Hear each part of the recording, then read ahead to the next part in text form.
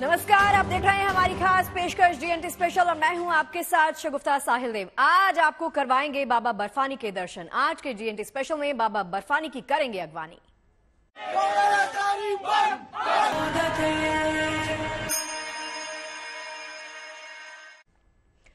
तो देखिए, बाबा बर्फानी के दर्शन होते ही मन में पावन रोमांच होने लगता है।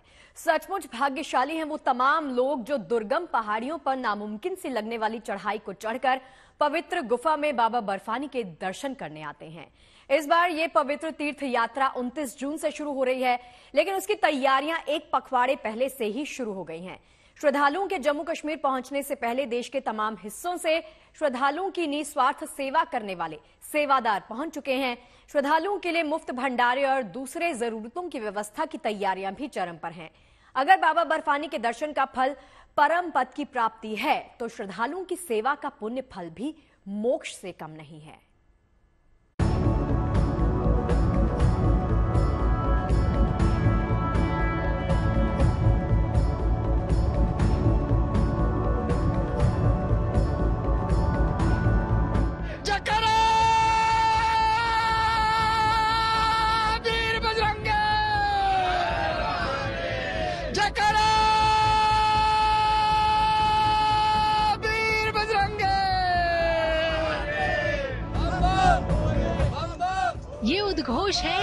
अनादिकाल से चली आ रही अमरनाथ यात्रा की तैयारियों की पावन आगाज़ की 29 जून से शुरू हो रही पवित्र अमरनाथ यात्रा को लेकर अमरनाथ श्राइन बोर्ड और जम्मू कश्मीर सरकार के साथ मानव सेवा के भाव से अनुप्राणित श्रद्धालु भी कमर कस के तैयार हैं।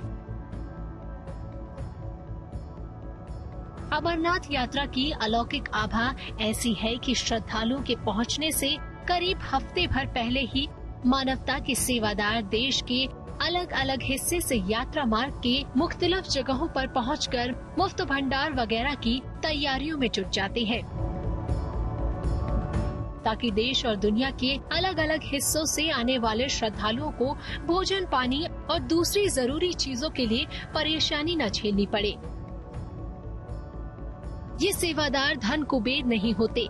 लेकिन मानव सेवा और भगवान भोले के प्रति सेवा और श्रद्धा का आवेग ऐसा है कि इस मौके पर अपनी मेहनत की जमा पूंजी लुटाने में इन्हें आनंद की अनुभूति होती है। भाव क्या हम लोग तो कुल मिला के मानव सेवा पे समर्पित हैं? भोले शंकर की सेवा करना हम लोगों का परम सौभाग्य है, जो बाबा ने हमको चुना। इस कार्य के लिए, इस पुनित कार्य के लिए हम यहाँ पर हर साल सेवा के लिए आते हैं, भक्तों की सेवा। हमको तो भक्तों में ही भोलेनाथ के दर्शन होते हैं।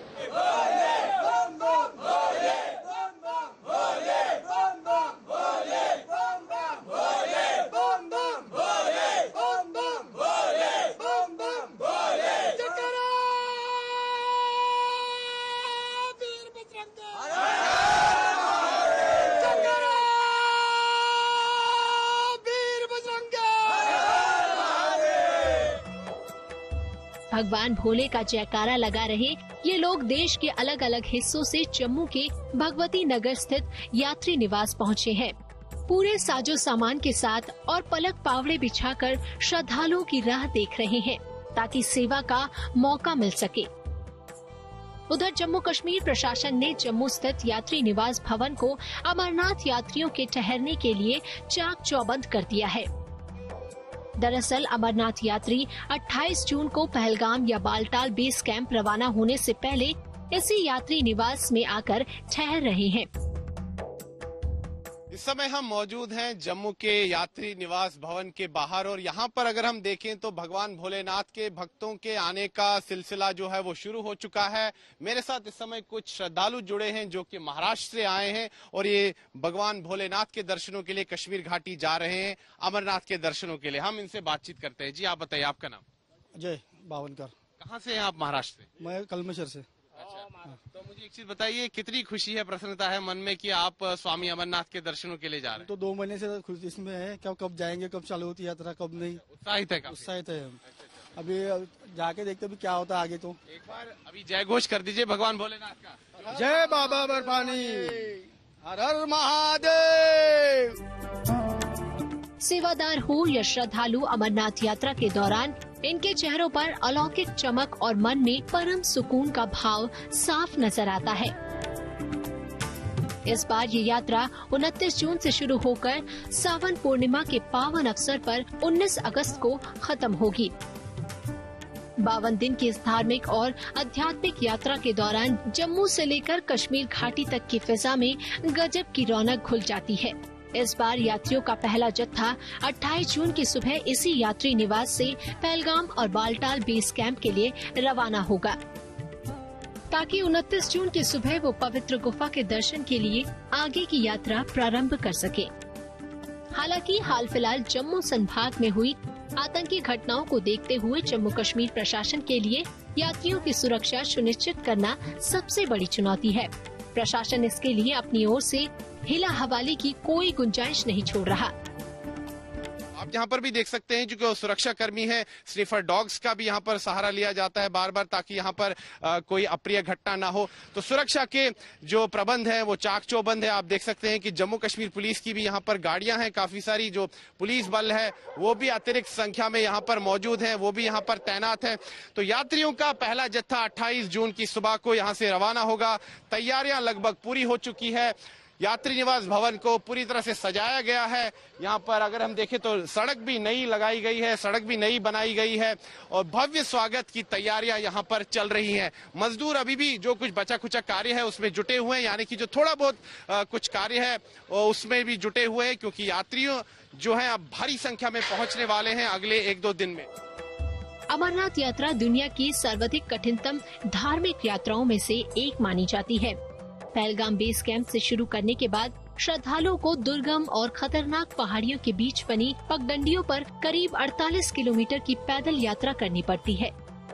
जबकि बालटाल बेस कैंप से उन्हें करीब 16 किलोमीटर की कठिन चढ़ाई चढ़नी पड़ती है। पहलगाम के रास्ते चढ़ाई ज़्यादा दुर्गम और लंबी होने के बावजूद ज़्यादातर श्रद्धालु इसी मार्ग को चुनते हैं। इसलिए क्योंकि इस मार्ग पर उन्हें चंदनवाड़ी और पंचतरणी जैसे पावन और सुरमय धामों के दर्शन का भी सौभाग्य प्राप्त हो जाता है। दरअसल, सनातन धर्म में मोक्ष की अत्यंत महिमा है और ऐसी मान्यता है कि बाबा बर्फानी के दर्शन मात्र से भगवान भोले भक्तों को अपना परम धाम सहज ही प्रदान कर देते हैं। जम्मू से सुनील चिभट के साथ bureau report Good News Today. देखिए, अमरनाथ, यात्रा के श्रद्धालुओं के लिए सुविधा का इंतज़ाम करना अगर चुनौती है तो उससे भी बड़ी चुनौती है उनकी सुरक्षा के पुख्ता इंतज़ाम। जम्मू कश्मीर प्रशासन इस प्रदेश में एक्टिव तमाम एजेंसियों के साथ मिलकर श्रद्धालुओं की चाक चौबंद सुरक्षा सुनिश्चित करने में शिद्दत के साथ जुटा हुआ है। पुलिस, पैरामिलिट्री और सेना से लेकर इंटेलिजेंस एजेंसियाँ पूरी तरह से अलर्ट हैं ताकि इस यात्रा में खलल डालने की मंशा रखने वालों को सबक सिखाया जा सके।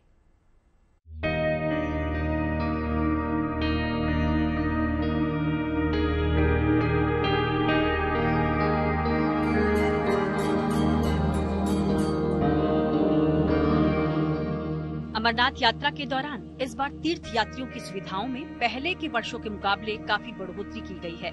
पहलगाम और बालटाल बेस कैंप से पवित्र गुफा के मार्ग को पहले के मुकाबले काफ़ी चौड़ा कर दिया गया है। और सड़क किनारे फेंसिंग भी मज़बूत कर दी गई है। इससे श्रद्धालुओं के लिए चढ़ाई न सिर्फ़ थोड़ी आसान हो जाएगी, बल्कि पहले के मुकाबले काफ़ी सुरक्षित भी हो जाएगी। पहले की तुलना में अब यात्रा रूट काफ़ी चौड़ा कर दिया गया है। आप सब लोगों को ध्यान होगा कि पिछले साल उसकी चौड़ाई बढ़ाई गई थी। कुछ स्टेज थे जहाँ वो नहीं बढ़ सकी थी बीआरओ ने इस बार उसे भी बढ़ा दिया है। तो मुझे लगता है कि सबसे सुविधापूर्वक यात्रा इस बार यात्री कर सके।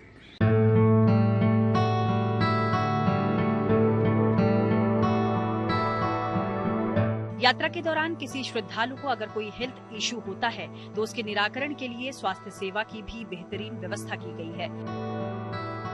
जम्मू कश्मीर के एलजी मनोज सिन्हा ने मंगलवार को बालटाल बेस कैंप पर डीआरडीओ के 100 बेड के अस्पताल का उद्घाटन किया। इस अस्पताल में बुनियादी स्वास्थ्य सेवाओं के अलावा एडवांस ट्रीटमेंट की भी व्यवस्था की गई है।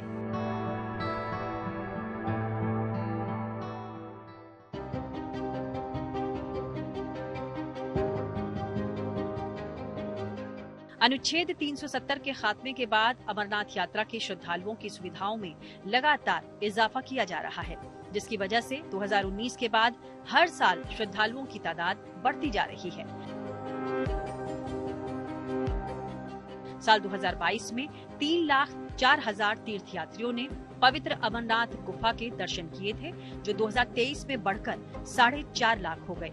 इस साल तीर्थयात्रियों की तादाद पाँच लाख को पार करने की उम्मीद है। हालाँकि सुविधाएँ मुहैया कराने से ज़्यादा बड़ी चुनौती श्रद्धालुओं की सुरक्षा सुनिश्चित करने की है। श्रद्धालुओं के लिए चाक चौबंद सुरक्षा करने के लिए जम्मू कश्मीर प्रशासन पिछले एक पखवाड़े से युद्ध स्तर की तैयारियों में जुटा है।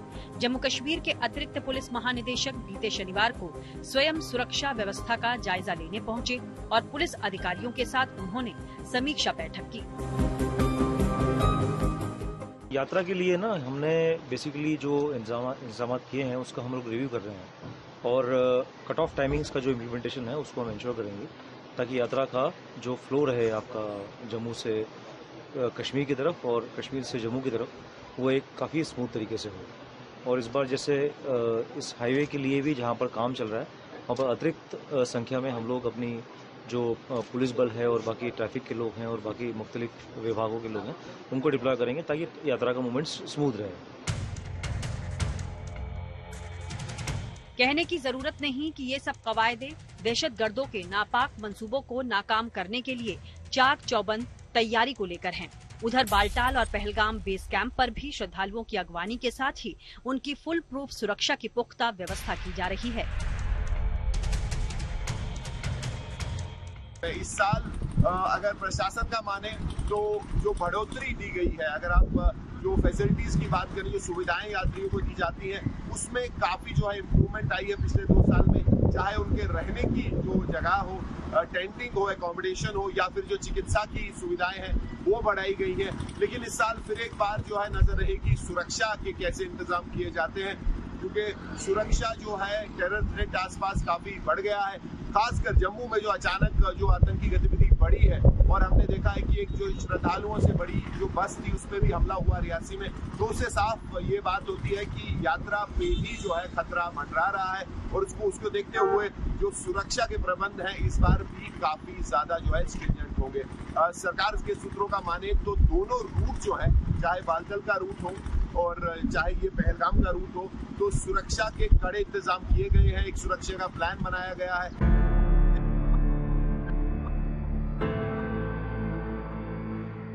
बावन दिन की अमरनाथ यात्रा को निर्विघ्न संपन्न कराने के लिए जम्मू कश्मीर प्रशासन ने 360 डिग्री का इंतज़ाम किया है। यही वजह है कि श्रद्धालु भी बेखौफ होकर यात्रा के लिए रजिस्ट्रेशन करा रहे हैं। आपको बता दें कि 15 अप्रैल से रजिस्ट्रेशन शुरू होने के बाद अब तक दो लाख से ज़्यादा श्रद्धालु रजिस्ट्रेशन करा चुके हैं और ये प्रक्रिया लगातार जारी है। साफ़ है कि अगर सब कुछ ठीक रहा तो इस साल रिकॉर्ड संख्या में श्रद्धालु बाबा बर्फानी के दर्शन करेंगे। Bureau report, Good News Today. Jammu Kashmir के उपराज्यपाल, जब से इस केंद्र शासित प्रदेश के एलजी बने हैं, अमरनाथ यात्रा को सुविधा संपन्न बनाने और सुरक्षित बनाने की मुहिम में जुटे हुए हैं। इसमें कोई संदेह नहीं कि उनके एलजी बनने के बाद सुविधा और सुरक्षा दोनों ही लिहाज से अमरनाथ यात्रा में क्रांतिकारी बदलाव आया है। यही वजह है कि अमरनाथ यात्रियों की तादाद 2020 के बाद से लगातार बढ़ रही है।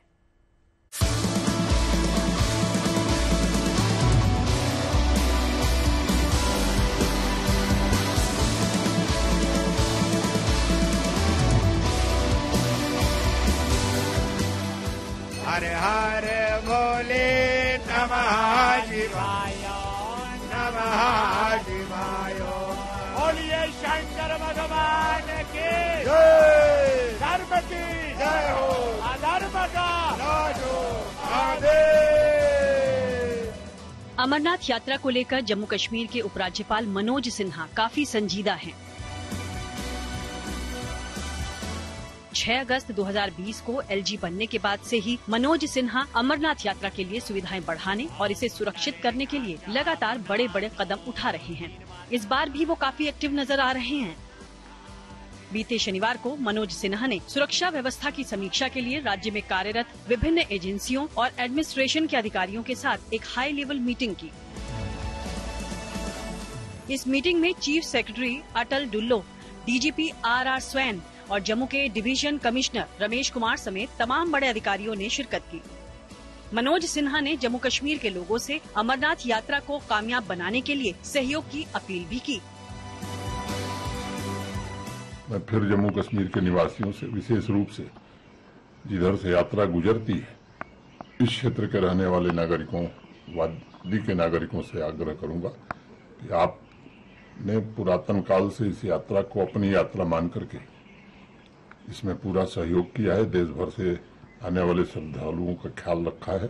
मुझे विश्वास है, इस साल भी उस परंपरा को लोग कायम रखेंगे और जम्मू कश्मीर की एक अच्छी छवि पूरे देश और दुनिया में बने, इसमें सब लोग सहयोग करेंगे। दरअसल सुरक्षा को लेकर हाई लेवल मीटिंग करने से पहले मनोज सिन्हा शनिवार को ही बाबा बर्फानी की इस साल हुई प्रथम पूजा में वर्चुअल माध्यम से शामिल हुए।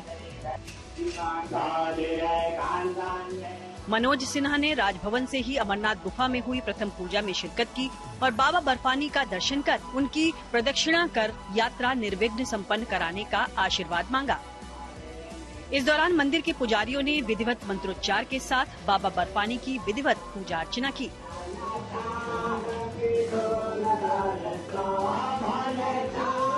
इस मौके पर मनोज सिन्हा ने कहा कि श्राइन बोर्ड और जम्मू कश्मीर प्रशासन ने श्रद्धालुओं के लिए इस बार काफ़ी अच्छी व्यवस्था की है।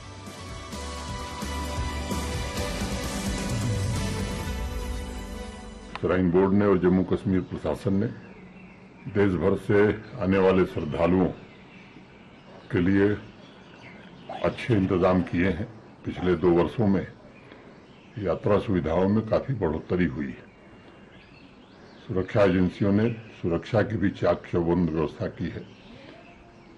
जम्मू कश्मीर की ये पुरातन संस्कृति रही है।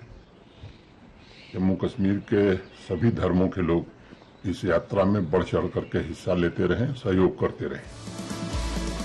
इसमें कोई संदेह नहीं कि अमरनाथ की पवित्र गुफा, जहाँ एक ओर श्रद्धालुओं के लिए आस्था का अप्रतिम केंद्र रही है तो वहीं दूसरी तरफ़ स्थानीय लोगों के लिए रोज़गार के भी अवसर मुहैया कराती है। यही वजह है कि जम्मू कश्मीर के स्थानीय लोग पूरे साल इस यात्रा का बेसब्री से इंतज़ार करते हैं और कोशिश करते हैं कि उनकी तरफ़ से यात्रियों को कोई दिक्कत पेश न आए। Bureau report, Good News Today.